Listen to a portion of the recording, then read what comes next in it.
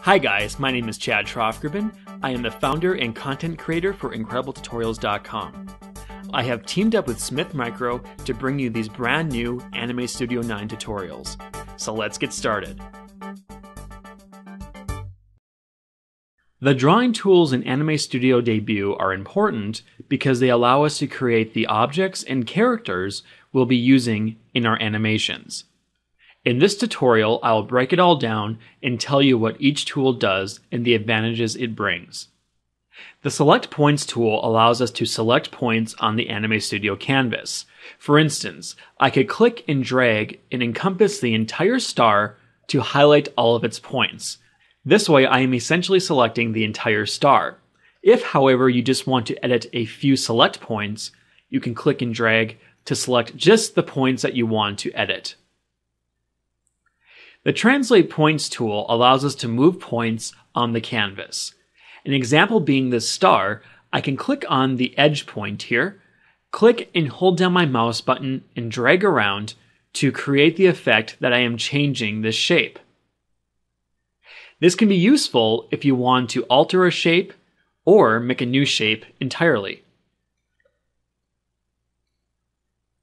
Used in conjunction with the Select Points tool, I can highlight the entire object or just part of the object if I wish, take my Translate Points tool, and move those selected points on the canvas. The Scale Points tool allows you to scale or resize objects on your canvas. If I take the tool and click on one of my points, you can see that I can't do a whole lot with it. However, if I click in the middle of the object, a red box appears with points allowing me to resize the object in different ways. The corners allow me to resize the entire object. The left and right points allow me to resize the object horizontally, and I can resize the object vertically as well. The Rotate Points tool allows us to rotate objects on the canvas.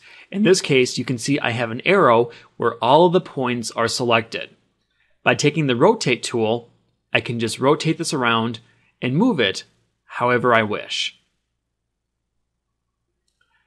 The Add Point tool allows us to draw on the canvas using a series of points. So for instance, if I lay my cursor on the canvas and click and drag outward and release, you can see I have created a line that is made up of two points. From here, I can continue onward just by going from point to point to create an object I want. Now, when I get to the part where I want to close the object off, I will want to bring my last point to the first point. The object will automatically then fill in with its line color and fill color because I have the auto fill option selected. Auto Weld will also allow us to easily connect points together. And your color and other line settings are dictated by your style panel.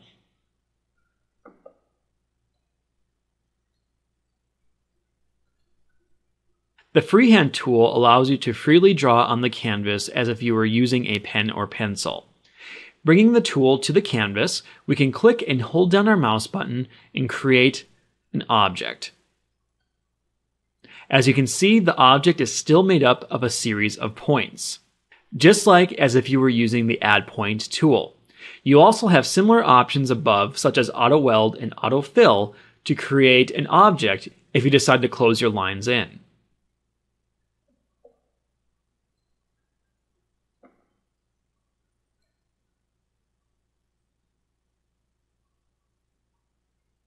The Draw Shape tool allows you to create a bunch of different shapes.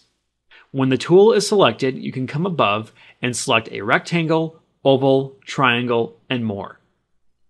So by selecting the rectangle, you can come down here to your canvas and click and drag to create a rectangle. And you can move your cursor around to adjust the size. Once you've done so, release the mouse button and your rectangle is now in place.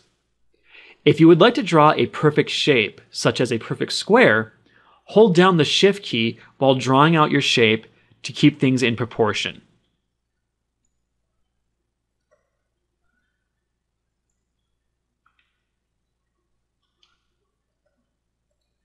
If you want to change the color of your line or your fill or the line thickness, you can come over here to your style panel and adjust the colors accordingly.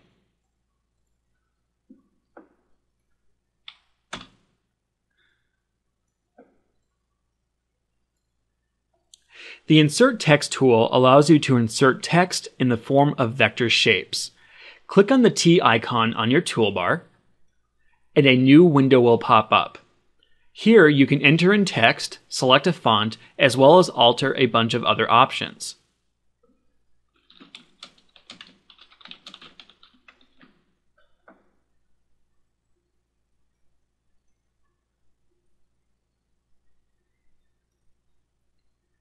Once you are satisfied with your text, you can click OK.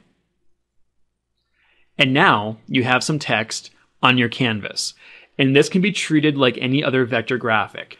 The Scatter Brush tool allows you to lay down a number of preset graphics built into Anime Studio. As an example, if I take my cursor out here to the canvas, hold down my mouse button and drag along, you can see that I am creating a line of bugs. And that is because at the top here, I have the insects option selected. I can choose from many more options, such as bubbles, landscape, leaves, and more. So if I choose smoke, you can see I have a variety of different smoke puffs coming up from the brush. The Delete Edge tool allows you to delete a line set between two points on an object. So if we take the tool here and click between these two points, you'll see that it deletes the connecting line to those points. At the same time, though, it breaks the fill of the object, since it is no longer enclosed. But now from here, I can take my Add Point tool and create an entirely new shape if I wish, and close the object back in. The Curvature tool allows us to alter the curves we have on an object. So in the case of the star, if I bring the tool over here to this point that connects these two lines together, and I simply click and drag, you can see I am altering the curve of that point. And I can do so for any of the points I see on my star, or on any object that I may want to alter. If you want, you can take the selection tool, highlight the entire object, and then use the curvature tool to alter all the points at once.